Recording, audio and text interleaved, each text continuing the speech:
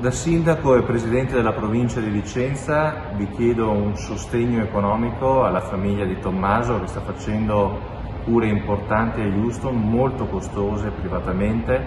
per poterlo fare tornare dalla sua famiglia, dalla sua moglie dalla sua bambina. È un impegno che chiedo a tutti i concittadini di aiutare e partecipare a questa raccolta fondi per permettere a Tommaso di, di guarire e tornare a casa. Noi abbiamo iniziato una strada lunga